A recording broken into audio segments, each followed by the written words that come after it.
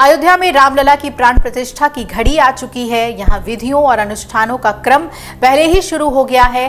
प्राण प्रतिष्ठा के अनुष्ठान को चौथे दिन शुक्रवार को सुबह 9 बजे अरणी मंथन से अग्नि प्रकट की गई और अग्नि प्रकट के साथ चौथे दिन का अनुष्ठान शुरू हो गया।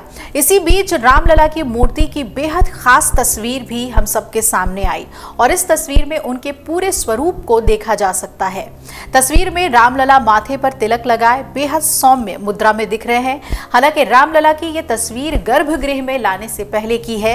अभी भगवान की आँखों पर पट्टी बंधी हुई है। आइए जानते हैं कि रामलला की मूर्ति की विशेषताएँ क्या हैं।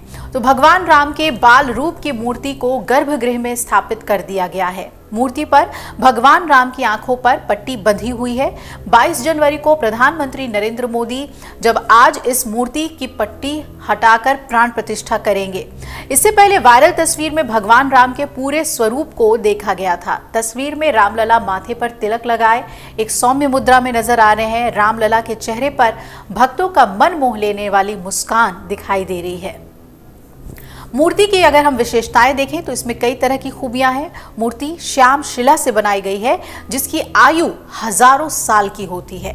मूर्ति को जल से कोई नुकसान नहीं होगा। चंदन, रोली आदि लगाने से भी मूर्ति पर कोई प्रभाव नहीं पड़ेगा। मूर्ति का वज़न करीब 200 किलोग्राम है और इसकी ऊंचाई चार दशमलव दो चार फीट, जबकि चौड़ाई तीन फीट की बताई जा रही है।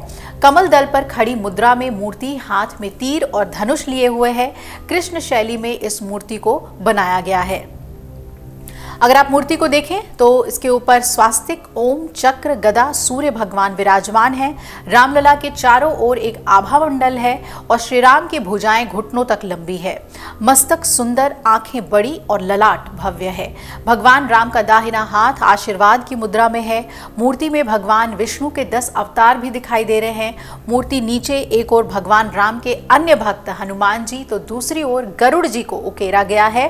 इस मूर्ति में पाँच साल के बच्चे की बाल सुलभ कोमलता झलक, झलकती है और मूर्ति को मूर्तिकार अरुण योगीराज ने बनाया है। श्री राम जन्मभूमि तीर्थ क्षेत्र के अधिकारियों का कहना था कि जिस मूर्ति का चयन हुआ, उसमें बालत्व, देवत्व और एक राजकुमार तीनों की छवि दिखाई दे रही है। अयोध्या के श्री राम मंदिर में तीन मूर्तियों को स्थापित किया जाएगा जिसमें से एक मूर्ति को गर्भगृह में स्थापित किया जाएगा। इनके बनने के बाद सबसे बड़ा सवाल तो ये था कि गर्भगृह में किस रूप में रामलला विराजमान होंगे? मूर्तिकारों ने तीनों मूर्तियों को इतना सुंदर बनाया कि चयन करना कठिन हो रहा था कि कौन सी सुंदर है और कौन सी उतनी नहीं। अंततः बाल रूप वाली मूर्ति को राम मंदिर के गर्भगृह में विराजे जाने का फैसला लिया गया। 22 जनवरी को आज सुबह रामलला के विग्रह की पूजा की जाएगी और दोपहर में मृगशिरा नक्षत्र में रामलला की इसी मूर्ति का अभिषेक किया जाएगा। पीएम नरेंद्र मोदी के हाथों श्री रामलला के विग्रह की प्राण प्रतिष्ठा होगी।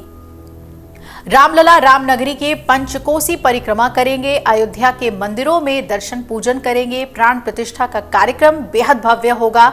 सियासत, सिनेमा से लेकर खेल और अध्यात्म से जुड़ी तमाम हस्तियाँ भी पहुंचेंगी। उनके बारे में भी हम आपको बताएँगे और कार्यक्रम में शामिल होने के लिए प्रधानमंत्री नरेंद्र मोदी, कई लोकप्रिय लोग, चाहे वो क्रिकेट जगत से हों, उद्योगपति जगत से हों या फिर संत जगत से विभिन्न देशों के प्रतिनिधि भी इसमें शामिल होंगे। अगर आप ये वीडियो YouTube पर देख रहे हैं तो हमारे चैनल को सब्सक्राइब करें और बेल आइकन को दबाना ना भूलें। अगर आप Facebook पर ये वीडियो देख रहे हैं तो हमारे पेज को लाइक करें।